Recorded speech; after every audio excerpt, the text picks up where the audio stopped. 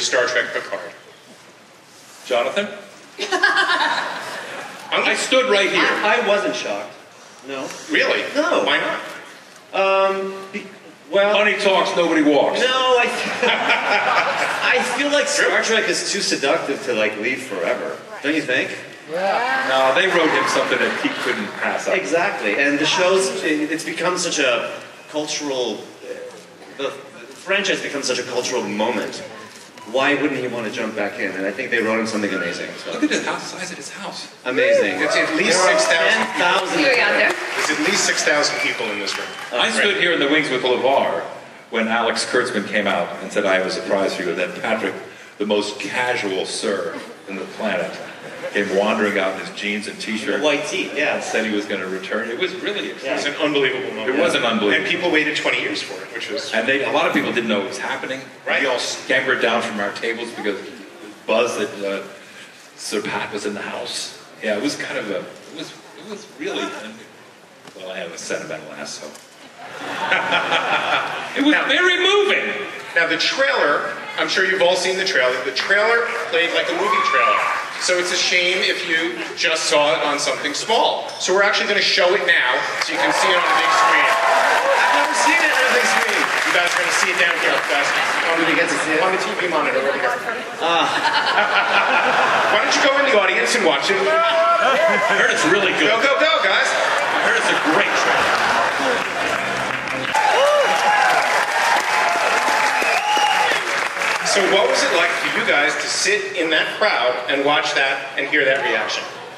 It, it doesn't suck. no, it's that's a that's a pretty amazing looking trailer, I have to say. That that looks like a feature film. That was that was pretty cool. But Jeri, Nobulins on this show.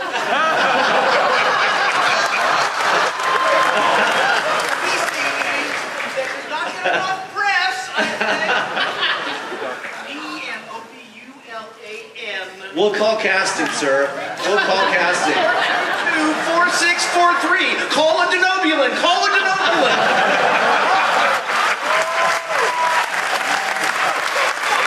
thank you. That was our panel. You know, you get one little Borg in, all the aliens think they could get in on it. Right, it's a party. It's an alien party. I mean, come on. So go back a step. How were each of you approached to get involved with this project? Start at the end. Yeah. Go, Big J. I'm going to call you Mr. Frakes and you Jonathan. Oh, no, really? Ian, after 35 years, you're going to call me Johnny. Mr. I'm gonna, all right, I'm going to call you Jonathan and you Johnny. Yeah. Okay, all right. We didn't work that out beforehand, actually. Sorry. I was asked to come and direct a couple of ex- episodes of Picard, which I, was, I gotta say, Thank God. Right? I directed the one where we introduced Seven of Nine. I say again, thank God. That's from your episode? That's your clip, yeah. That's Originally, they were going to beam the booze in, remember? I said, why don't we have Patrick Patrick knows how to pour a drink? That's right. And I was thrilled, as you can only imagine, to be back with Patrick and to be back in the family of Star Trek. I get to do Discovery, which is kind of my new home show, and I it was. I, I won't pretend that I wasn't really excited. And then to work, and I got to work with Jeri, which I hadn't done much of since we'd done Leverage together. And, and the, the cast is spectacular, needless to say. And Patrick, for some reason, is crushing it now. Is he not? He, his, his confidence, his ability to, uh, his vulnerability, his sense of humor, his, uh, his emotionality is up surface. He's, he's, he's as great as he's ever been. And because he loves the project, and because the writing is spectacular. And the, uh, the showrunner is a, a man named Michael Chabon, who deserves boots and hollows. And I'll tell you a little, Little anecdote from a conversation I had with Alex Kurtzman, who's the keeper of all things Star Trek now. We were talking about, I'm doing an episode of Discovery, and there's some questions, and we talked about the Picard episodes that I had done, and then we talked about Chabon, who's become the showrunner, and what's going on with him and how he's learning this job. And he said, Michael, he said, no, he said, after all, Michael is Mozart. Hmm. That's a pretty serious compliment. So Chabon is Mozart. I didn't know he was Mozart, but apparently he, he is. Do now. That's sort of laid there like a lox, that line. But, Jeri, how did it feel when you were invited in? We were listening to Mozart, actually. No, I, well, Ish, yeah, we were at the Hollywood Bowl actually, and Johnny was with me, and um, one of I'm hearing myself in echo really that's weird. Um, one of the creators of the show, James Duff, who's another dear friend of ours. After about four glasses of champagne, he was like, "Well, this this might be the time to bring this up." So here's what I'm thinking. And he pitched an idea, which the story is not the same story that he was originally thinking, but the character, the way he had conceived of this character, is, is basically what he described to me, and it sounded really cool. Um, and I thought, yeah, that you know, it sounds fun, but whatever. This is you know a year and a half ago, maybe something, well over a year. And um, so I didn't think anything of it. But then every time I saw him again, he would mention it again. And then cut to about a year ago at the Creative Arts Emmys, was it last year, for the 50th anniversary. Uh, and Alex Kurtzman was there, and I met him, and he mentioned it as well. and I was like, oh, this might actually, this might actually happen. And it did, and um, it's pretty cool. Uh, what- Johnny? I, I, Johnny, I was. I was at the Hollywood Bowl too. What are you doing? And after the four drinks, or was it eight? Uh, Well- after we talked about Jeri, he, he did say, and you know, would Hugh want to come back as well? And I said, yes. I mean, Yes, he would. Yes, he would. Um, do I have to wear the makeup and the costume? He said, I don't think you will. I said, then I really want to come back. Oh, he, that was part of his pitch when he was telling me You to. will not. There's no cap to it. There's no cap. Yeah. Yeah! But you know, in Hollywood, you hear these things all the time, and then projects don't ever go anywhere. And so we were very cautious, right? We're like excited, but like let's wait and see. And Yeah. well, you know, if it happens, it happens. And then we got the calls, and then you're in, you know, wardrobe fittings, and then you're getting a tour of the sets, and you're going. Oh, I think it's happening. I better go study my lines and figure out who Hugh's become because it's been a long time, and I have no idea who he is now. Did 07. So, yeah, it was a it was a trippy year actually. And then you have, and then you can't tell anybody for a year. Do you know how hard that is? We knew about this. a I'm the worst secret keeper ever, but I. I rock that. It's more than a year that you've known about. Yes, I've Yeah. been for a year. Well, I had to do it, wasn't it? Didn't you do the interview? I had. He did a whole like Borg issue, You and both I'm, lied to me. I and lied. I'm saying I can't say Boldface. anything. Yeah, Boldface. I In- in boldface lied. Yes. Yeah. hmm I said I'd come back though. That wasn't a lie. That's they true. asked. That's So true. But they had it. they had asked. I think I learned it. What did I say? Never say never. I think that's Right. what I kept answering. There you go. Jonathan, it had been a good 15 I beg to come back. There you go. it had been a good 15 years since you played Riker. How concerned? 18. 18, all right. Well, good 15 equals 18. How concerned were you about it going in, and how quickly did you slip back into the character? I'm yet to find out. I shoot this week with uh, All right, so the first part of the question, how concerned are you? more than you know. In what ways? I have been, every morning when I wake up, I've had the script for quite a while. Every morning, the first thing I do is go over my lines. Because I'm, first of all, I've seen what Patrick's, the shape he's in. Marina's been starring at the West End in a play, so her acting must, and I see what this acting company is like, because I just directed two of the episodes. And I was really happy as a director. I was a fine, I was a nice little actor on Star Trek. But first of all, I'm the third best actor in my own house. and on the show, you know, put me wherever you Wait, want. wait, wait, But it certainly wasn't Genie, then- Genie and then my daughter Eliza. okay. So I was really happy that I learned another craft. and it's been uh, very good to me. Yeah. So I will share this. Watch the PR people. They're everywhere. They could be sitting right in front of you. No, they're and here. Now, that's- Just between me and you. I did play one scene with Picard already. And I won't tell you anything about it, except this. At the end of the scene, we were in three different locations. At the end of the scene, Doug Aaron, Aarniokoski, the director, said, I've got to go on to the next set, and I'm going to leave you guys here with a drone. A drone is a, you know what a drone is, right? So the drone came, he said, it'll just be you guys. Or drone? Or different drone? A Different drone drone. A drone drone, a camera drone. so the drone comes and shoots the two of us playing the scene. And off in the woods is somebody with Patrick's chair and a second AD named Alex. And uh, Patrick says, Well, I think, I think we've done it, Johnny. I said, Yeah, I do too. So we walk, and with the, it's just the two of us. The company is in, the entire 150 people has moved on to the next set, which is another part. And he said, Is there anything better than spending the day with filmmakers that know what they're doing and to be to be able to work with the people you love. And I, I was a.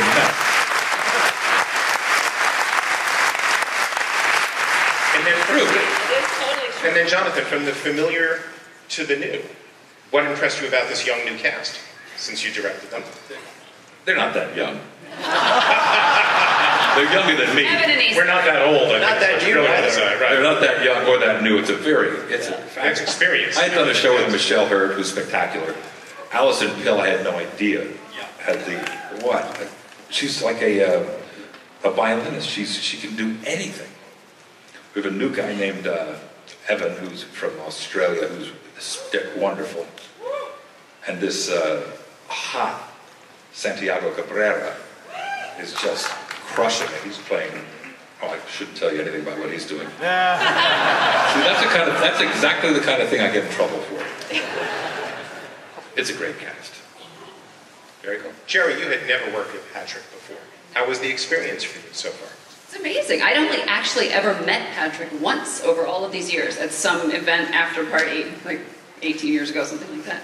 Um, he's lovely. I mean, and I, I know most of the Next Gen cast better than I know my own cast. I mean, I know these guys so well, and I've seen them at so many shows over the years, and we hang out, and um,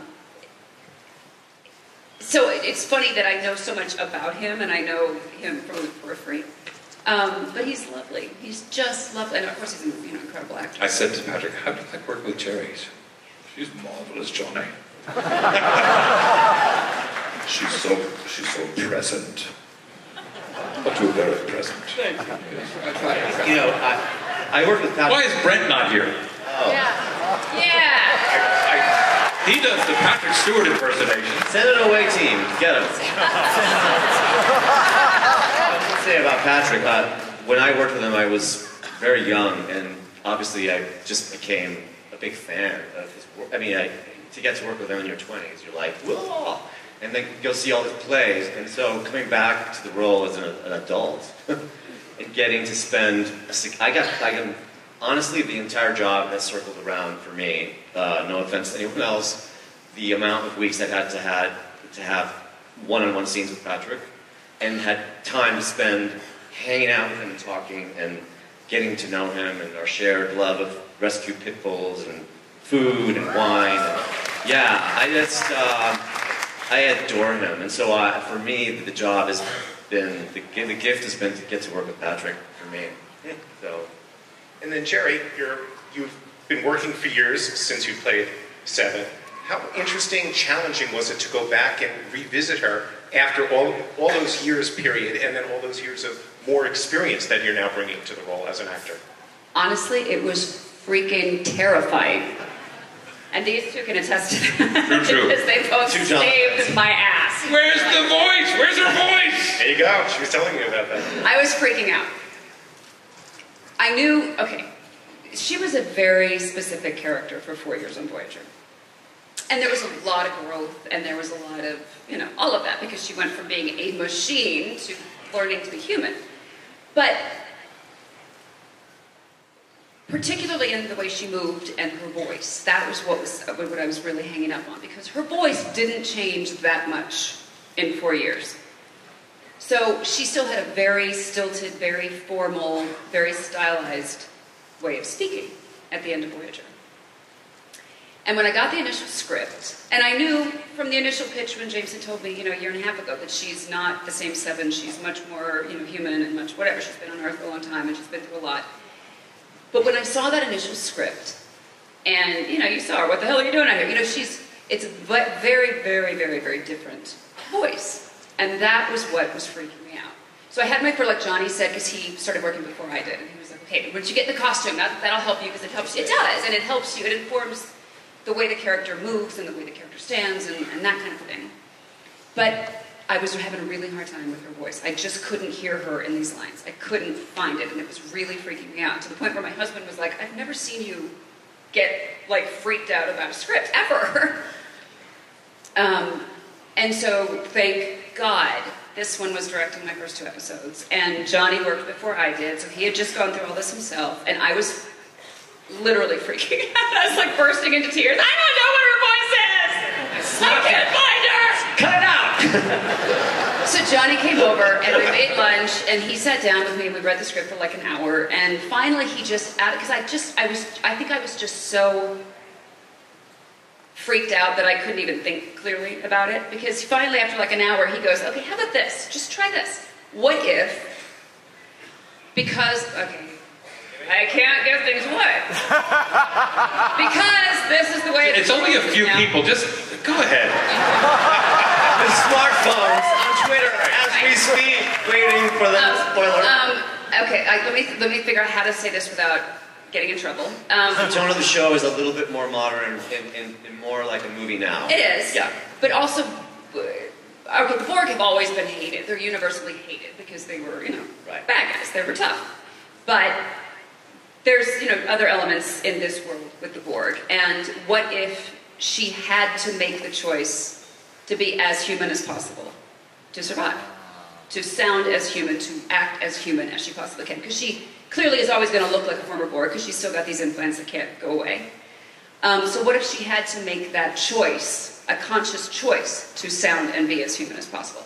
And that, She was that's like, all I needed. "Oh, I can do that." needed. I was like, that's what I need. I just needed something for it to make sense as an actor, why she would have that huge a change.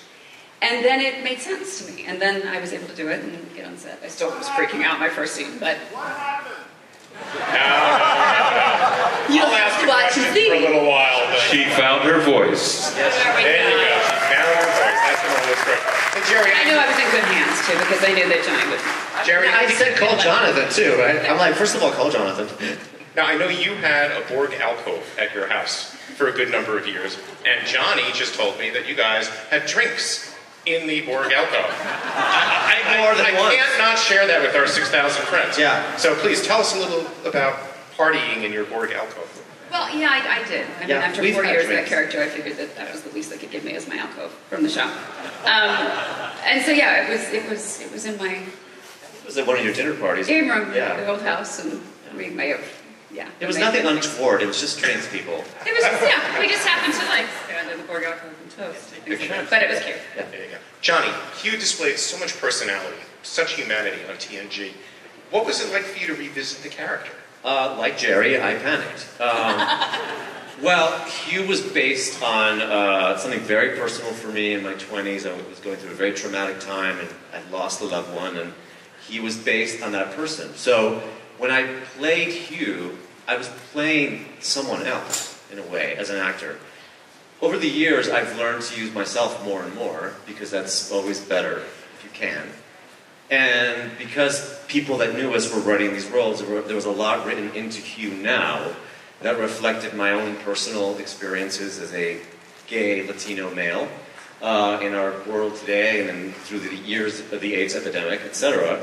So I, there was a lot in the Borg experience from the end of TNG to now that was emotionally easy for me to connect to. However, um, there was a lot about Hugh's physicality that came from the wardrobe, which I loathed at the time because it was impossible to wear. Mm-hmm. And I wasn't sure how much of myself I could use, how much of the. I, I didn't want to lose the complete physicality of the old Hugh. And in a way, Jeri and I talked a lot about like, it, when you're doing Star Trek, you're doing it for you guys, right? Because a general audience can watch a good performance and be like, well, that makes sense to me, but you all, we did not want to mess it up for you. That's, that's exactly right. No, we, we talked. We're like, they're gonna kill us if we do that. You know, we have to be like true to our base. You know, our audience. They know our roles in some ways better than we know them ourselves. So I I was in a panic. Uh, I got a tour of the set. The tour of the set gave me some great research ideas, and I researched a, his, a human historical event that it reminded me of. I'm not going to tell you what it is.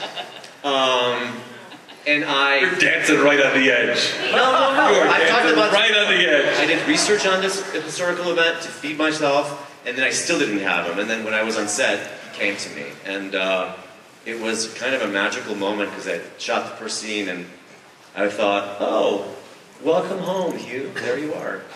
And uh, it was kind of a, a great experience that first beat of it, and it's been a great experience all summer, to be honest. Well, building on that, you had worked with Patrick before on TNG, with Jeri on, on Voyager. She also happens to be your one of your closest friends, Yes. and you are married to her manager. I am. So, on a personal level, how full circle has all of this been? It's only It's your world. Crazy.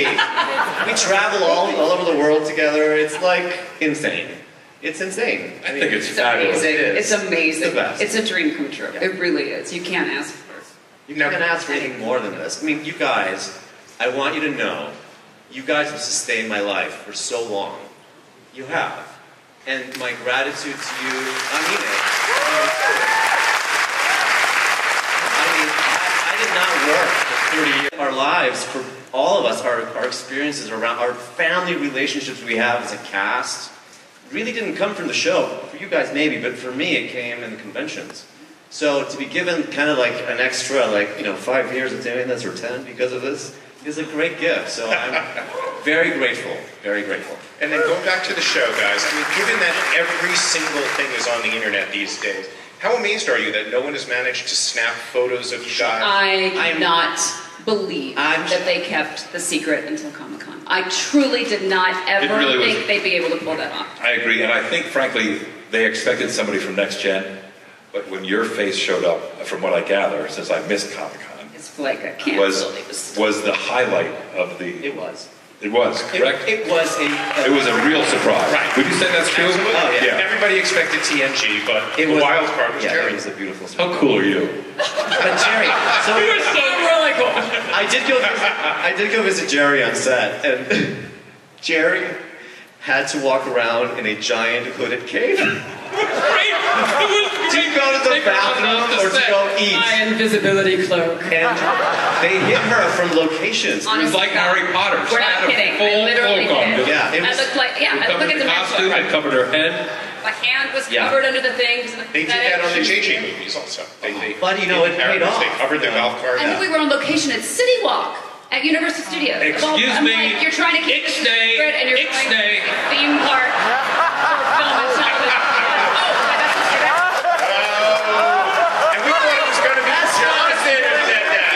I would have. That was going to be. Jonathan, you're off the hook. That's not a spoiler. That's not a spoiler. we shot there. Wait, that was months ago. So You know, on Discovery, we actually go into the mirror Is universe. that a spoiler?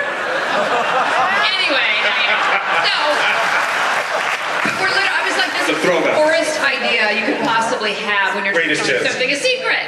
But so I had to go. The second I would step out of my trailer, just to go to the makeup trailer, to go to the van, to drive to the set. So I'm driving in the van It's a like great this. story, though. Doesn't it make for a great We're story? driving on the back lot behind the tram tour.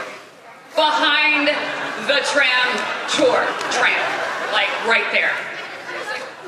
I like, This is so gonna get out, and it didn't. And I We weren't allowed to leave our trailer, even on, on stage. We, uh, once I'm in makeup, I'm not allowed to leave my trailer to go eat, like to the to the actual crew and cast meal. Tent or whatever. Because they haven't revealed, you know, the Borg's makeup, right? So they're just so secretive about it, and I think it's kind of great because aren't surprises awesome? Aren't you just so excited to see all that for the first time?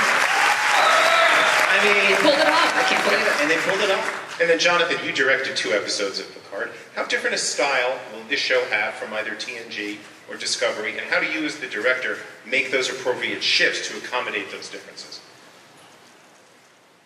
Good question, Ian. Thank you, John.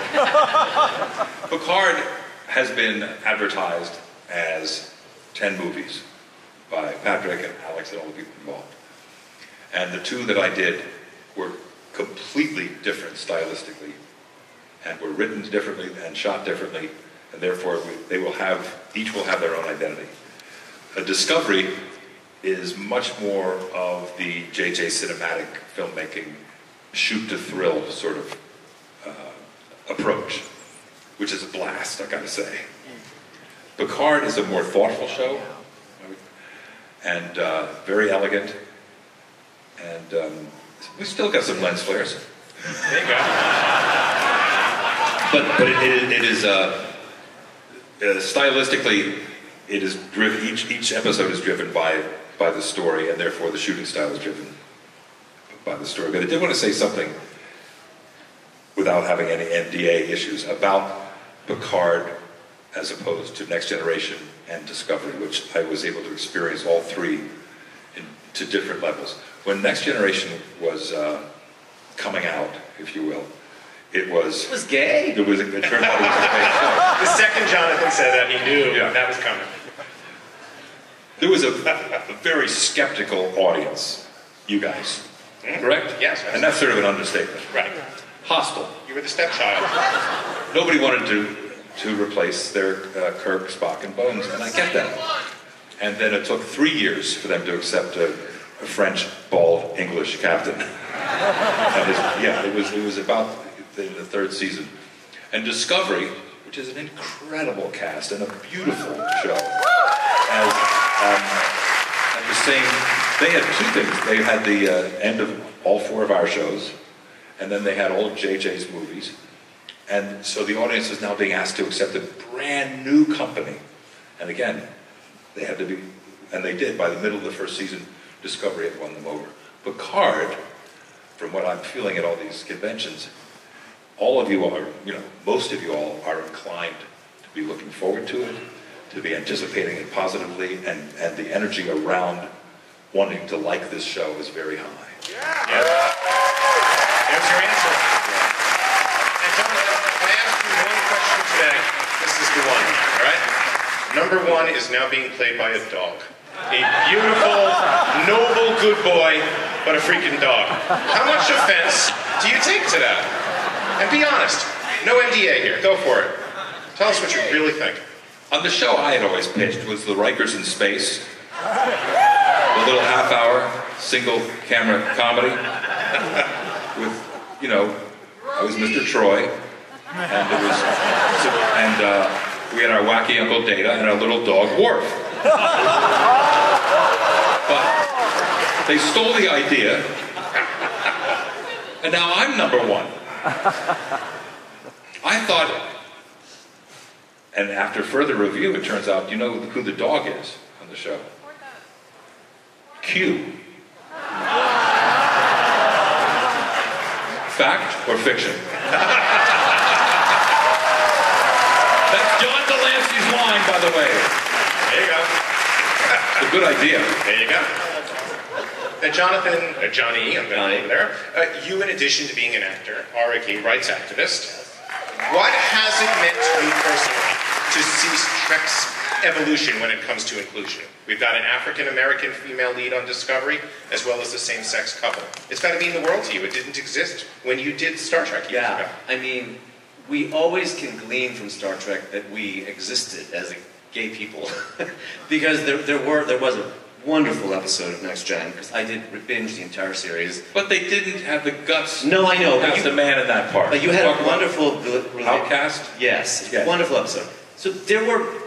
It's not what we, where we are now. The idea that, that we can see Wilson and, and Anthony in a uh, marriage relationship uh, without it being like commented on, right? That it's just there, um, is the best of Star Trek to me. And so the diversity, the inclusion. I mean, I used a lot of my own very personal things to do with being a gay human being on Earth to play Hugh. And I'll tell you what's really kind of mind blowing. When it was announced that I was coming back, I have gotten tweets and letters from people that came out because of Hugh. And I was like, Hugh wasn't gay. Like, how did they figure? God, I'm so gay. It came through rubber?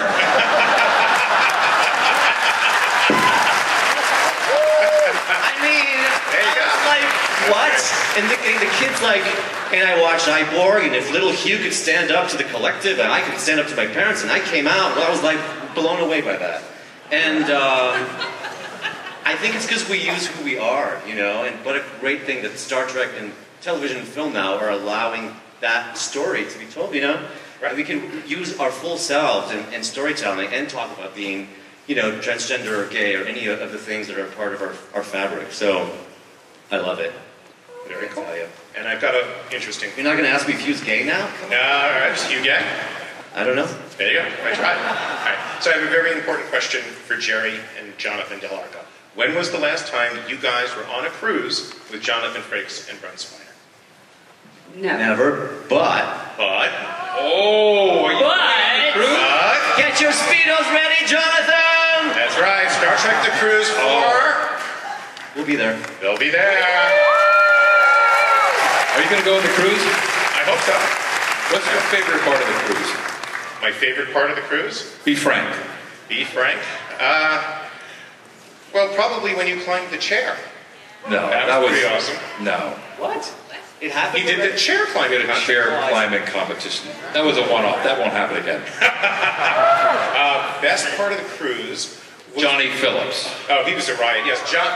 Ethan, Ethan Phillips does Night the show. bluest, dirtiest show. does a blue show after midnight that is so incredibly inappropriate. Wait, that's an that's an option. Because I was asked to do something. I can do a blue show. Better talk to Johnny. The guys are here. You can absolutely do Okay. it. Oh, hey guys, they're going to take They're us gonna play us off. Minutes. Let's get in at least a couple of fan questions, okay? Yeah. Give us five more minutes. Are we, are we good? Can I have more time? No! Powers that be behind the curtain? Yes? How much more can I have? Five minutes. I've got five minutes. Fast. Fans time. Guys, we all know you love them. Please just ask questions. Let's go. A quick thing uh, to Jonathan Frakes. I know you were captain back in, uh, in the last movie, trying to become a captain in your own ship, but you originally another captain way back a long time ago, a different genre. In fact, I got a gift for you. Like I like to give to you on, on stage. Wait, no, no, no, no, no. you- Oh, I know what this is. I know what this is. I'm going to go over there. It's fine. Okay. Because you know, Ian, I was Captain America. Oh! That's right. I am just protecting you, Jonathan. Wait, what? What? He was actually War Captain America. Well, Well, thank you. Thanks for bringing us up. Tell the story, Jonathan, real fast. I was cast. Oh, is that for me? Yes. Actually, if, if I, I'm full, I'm full up. The full up. I'll bring it to the photo op. right. No, no, no. You bring it to the photo op. All right. There we go. When I first got to New York City, my buddy Charlie Davis was playing Spider-Man. He said, they're looking for a guy to do Captain America. So I went over to 575 Marvel. I met Stan Lee, the late, great Stan Lee. They put me in a spandex suit, my first spandex suit. They sent me downtown to get red boots. They got me a uh, garbage can lid with a star on it. And they sent me out to open up comic book stores in Omaha. Why is there not a memo of that on your table in the dealer's room? The You know how many of those you sell? Comic books. I did, and I wrote in I used to get into the rental car with the guy who picked me up at the airport. I get in the front of the rental car, take the garbage can lid out, gripper on the uh, Captain America things at the top, and ride into the 7 Eleven like that. and they said, You don't even look like Captain America. But I did get to go. I love him. That's why you now. direct now, right? All right, let's go to the right, real fast. I love everything about that. Hello. didn't that, did you? Hi. Hi. Hi. um, thank you so very much for bringing Star Trek back to the current timeline. I've been so very hungry to see what has been new in Star Trek for years and years. So thank you for giving us Picard. Um, so my first question, I have two questions. Just one, please, so we can get other people in too. So pick your Okay. best question. Well, I guess I'm going to have to do this one if you can hold this. Uh-oh. Um, is it possible that there is going to be a Denobulan on, uh,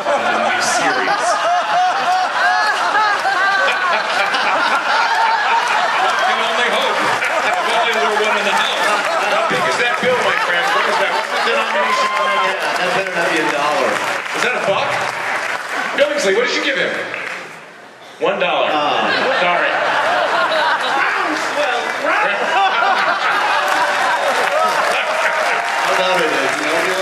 Let's go to the left. Nice tie. In this 10 episode series, how large is Riker's role? How large is Seven of Nine's role? And how large is Hugh's role? Jonathan, show him your shirt. They're all momentarily wearing Sorry, the shirt. can't Can't, say. can't touch that one. I would say I would say this. Size is irrelevant.